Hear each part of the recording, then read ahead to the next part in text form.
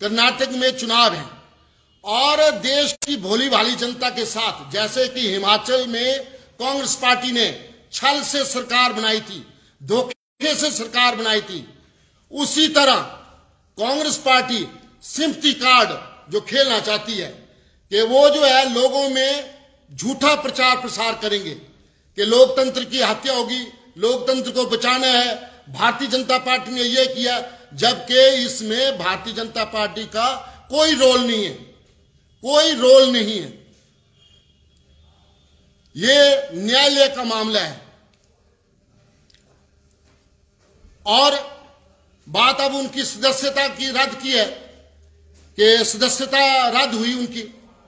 और इसमें supreme court की डायरेक्शन है, माननीय सुप्रीम कोर्ट की डायरेक्शन है कि जैसे ही किसी व्यक्ति को सजा हो, वो सांसद हो चाहे विधायक हो, चाहे सांसद हो, चाहे विधायक हो, चाहे मंत्री हो, चाहे प्रधानमंत्री हो, जब उसको सजा होगी तो उसकी सदस्यता जो है, उसी समय जो है, रद्द कर दी जाएगी। चाहे वो किसी भी पार्टी का वो मेंबर क्यों ना हो।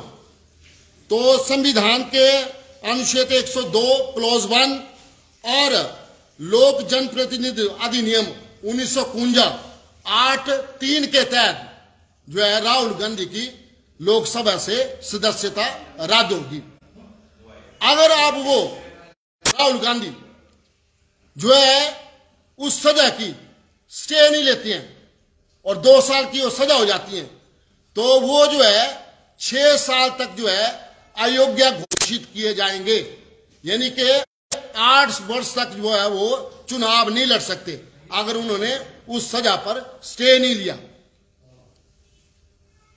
अब बात आई कि इसमें और भी सांसद हैं कि जिनको जो है, जिनकी सदस्यता जो है, इसी नियम के तहत जो है गई थी।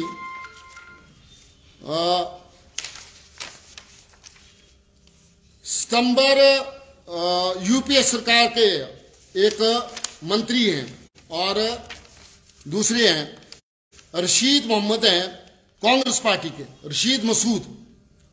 साल 2013 में जो है एमबीबीएस सीट घोटाले में उनको दोषी ठहराया गया अदालत ने और उनकी राज्यसभा की सदस्यता चली गई। उसी तरह लालू प्रसाद यादव को भी साल 2013 में चारा घोटाले पर दोषी साबित किया और उनकी सदस्यता चलेगी इसी तरह जनता दल यूनाइटेड के जगदीश शर्मा के चारा घोटाले में सजा हुई और उनकी जो है, सदस्यता जो है लोकसभा की चलेगी। समाजवादी पार्टी के नेता आज़म खान को दोषी ठहराया गया और उसकी सदस्यता चलेगी। सपा नेता आज़म खान के बेटे अब्दुल्ला आज़म की विधानसभा की सदस्यता सदा होने पर चलेगी। उत्तर प्रदेश के विधायक, बीजेपी के विधायक विक्रम सैनी की सदस्यता भी उनको सजा होने पर उनकी सदस्यता चलेगी। अब राहुल गांधी जी, इसका जो है झूठा प्रचार प्रसार कर, कर रहे हैं। और तथ्यों के विपरीत जो है वो बात कर रहे हैं। जबकि एक अध्यादेश जो है जब उनकी सरकार यूपी की सरकार थी 2013 में तो प्रधानमंत्री जी श्रीमान मनमोहन सिंह जी थे। उस टाइम जो है यूपी सरकार जो है एक अध्यादेश लाई थी। और उस अध्यादेश को जो है राहुल गांधी जी ने भरी महफिल में और प्रेस के लोगों के सामने जो है उसको फाड़ कर जो है रद्दी की टोकरी में डाल दिया था। जबकि वो अध्यादेश जो है, अगर वो पास हो जाता उस टाइम तो उनकी सदस्यता जो है बच सकती थी। लेकिन उन्होंने उस अध्यादेश को अपनी ही पार्टी के, अपनी ही सरकार के, उस अध्यादेश को फाड़ के जो है उन्होंने रद्दी की टोकरी में डाल दिया। अब कांग्रेस वाले जो है टिक्का टिप्पणी जो है, अदालतों पर कर रहे हैं, न्यायपालिका पर कर रहे हैं।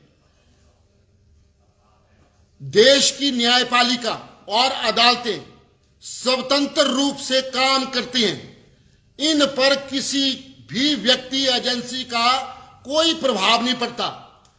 पूरे विश्व में भारतीय न्यायपालिका और भारत की अदालतें स्वतंत्र रूप से काम करती हैं, जिसकी प्रशंसा पूरा विश्व करता है कि भारत की न्यायपालिका जो है, स्वतंत्र न्यायपालिका है।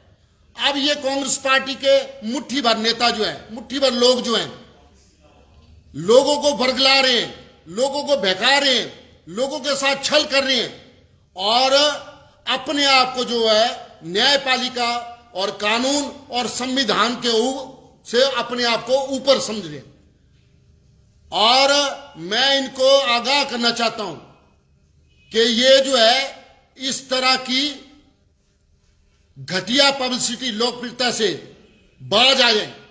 नहीं तो आने वाला टाइम जो है 2024 का जो है, इनका जो है सुपड़ा साफ़ होने जा रहा है।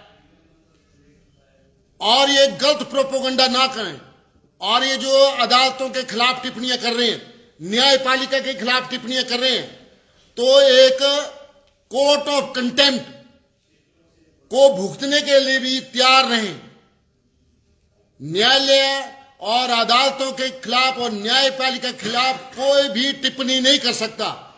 न्यायालय और कानून सुप्रीम कोर्ट जो है सबसे ऊपर है। तो मेरा एक चंद मुट्ठी भर कांग्रेसियों से निवेदन भी रहेगा, आग्रह भी रहेगा कि वो न्यायालय पर और न्यायपालिका पर टिप्पणियाँ करना छोड़ दे। अन्यथा इसका रिज़ल्ट आने वाले समय में वो भुगतने के लिए तैयार नहीं। तो ये छोटी सी बातें मैंने आपके साथ शेयर करनी थी ताकि समाज में जो है एक मैसेज जो गलत प्रोपोगंडा इन्होंने चलाया हुआ है, उसको जो है लोगों को ठीक तरह बताया जाए कि कानून के अनुसार उसमें किसी भी पार्टी का लेने देने नहीं है। कंप्लेंट हुई अदालत में और अदालत ने फैसला सुनाया। अदालत में जो है माननीय राहुल गांधी जी के वकीलगण जो है, अधिवक्तागण ने मुकदमा लड़ा और मुकदमा लड़ने के बाद जो है उसका फैसला हुआ और फैसला जो है सर्वमान्य होता है। अगर आप उस फैसले से सहमत नहीं है तो आपके पास ऑप्शन है अदालत में जाने का तो वो अदालत में जा सकते हैं। ये कांग्रेसी बताएँ कि उस फैसले के विरुद्ध वो कब अपील करने वाले हैं? कब स्टे लेने वाले हैं? उसको वो नजरअंदाज कर रहे हैं। उस बात को वो कन्नी काट रहे हैं। जबकि आम जनता, हमारी भोली भाली जनता, जैसे कि इन्होंने हिमाचल में किया कांग्रेस वालियों ने, कि छल के साथ जो है सरकार बना ली। तो मैं इन कांग्रेसियों जो मुट्ठी भर कांग्रेसी हैं, उनको कहना चाहता हूँ कि वो दस गारंटियाँ जो आपने बताई थी, वो आप कब पूरी करने जा रहे हैं।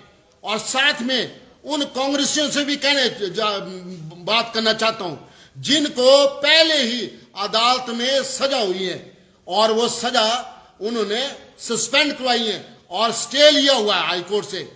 वो पहले अपनी खैर मनाए, तब जो है जाके वो टिप, टीका टिप्पणी करें। अदालतों के ही सहारे पर उन्होंने अपनी सजा का स्टे लिया हुआ है, और आज उन्होंने उस पर चुनाव भी लड़ा। तो वो जो है अदालत पर न्याय, न्यायपालिका पर टीका टिप्पणी करना बंद कर दे। अनाथा जो है, इसके परिणाम गंभीर भुगतने के लिए तैयार नहीं।